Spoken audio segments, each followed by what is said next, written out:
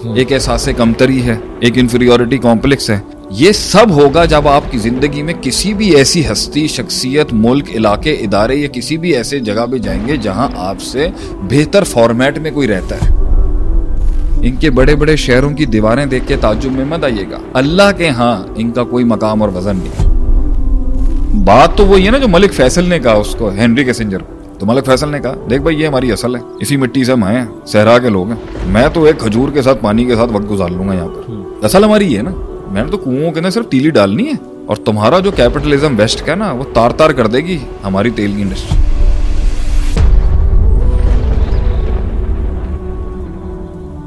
ये हमेशा से एक कॉन्सेप्ट रहा कि बच्चों को जो ना इंग्लिश ना सिखाओ।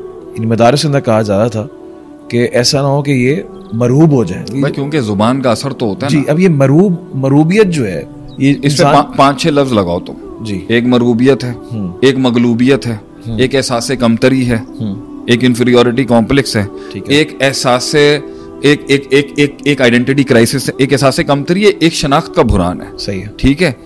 ये सब होगा जब आपकी ज़िंदगी में किसी भी ऐसी हस्ती शख्सियत मुल्क इलाके इदारे या किसी भी ऐसे जगह पे जाएँगे जहाँ आपसे बेहतर फॉर्मेट में कोई रहता है।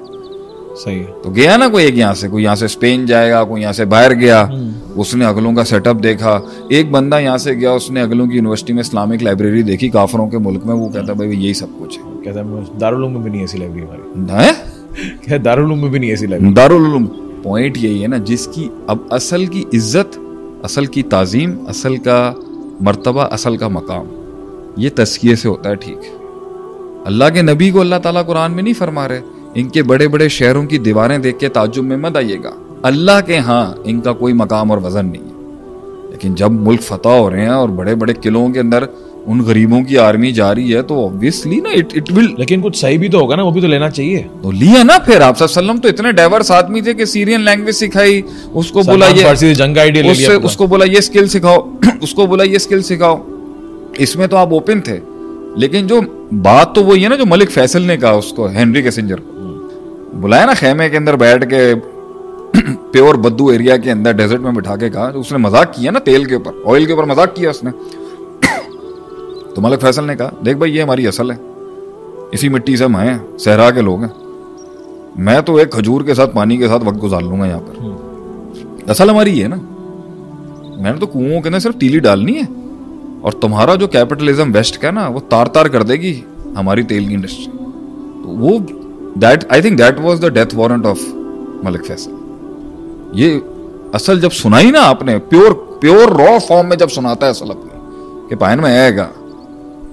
तो मैं अपनी असल में अगर पंजाबी बोलता हूँ ना तो मुझे मुझे कोई उसके अंदर शर्म है नहीं नौजुबिल्ला मैं तो बल्कि I proudly own my language मुझे कोई उसमें नहीं है। मैंने सीखी है लेट सीखी है बल्कि मैं। तो वो उन्होंने दिखाई अपनी। तो जब आपकी असल में आपकी ज़ुबान नहीं है आपका कल्चर नहीं है जिसकी अल्लाह भी कुरान में इज़्ज़त करता है उसूल फिक में हम उर्फ़ को एक आर्टिकल मानते हैं माखज शरीयत के अंदर। सही। जिस आदमी की कोई असल नहीं कोई कल्चर नहीं कोई बुनियाद नहीं कोई आ, कोई वैल्यूज़ नहीं कोई फैमिली का अल्लाह ने शरीयत में भी कहा कि भाई कुछ रिचुअल्स अगर कल्चरल रिचुअल्स हैं इसको इस्लाम चैलेंज नहीं करता। आपके यहाँ इस्लाम में एक पार्टी उठी है वो कल्चर को उड़ा के फेंक देती है। और दूसरे बैठे हैं वो कल्चर को इस तरह थोप के बैठे हुए हैं कि वो इस्लाम है। कि वही इस्लाम है और उसके बीच में औरतों को भी दबाया हुआ है बच्चों को भी दबाया वगैरह। सो ये फाइन लाइन ड्रॉ करना तो आसान काम नहीं लेकिन by the end of the day कौमें वही सर्वाइव करती हैं बंदे वही सर्वाइव करते हैं जो अपनी असल पे कायम हो मगर अगर वो असल के साथ मीडियम में इवॉल्व नहीं करेगा ना तो कोई बड़ा जिन आके खा जाएगा उसको बैठ के। और फिर आप, इन यशा यूसुफ को मजाती बिखल जदीद हो जाएगा कि अगर आप काम नहीं करेंगे तो नई कौमों को ले आएगा अल्लाह।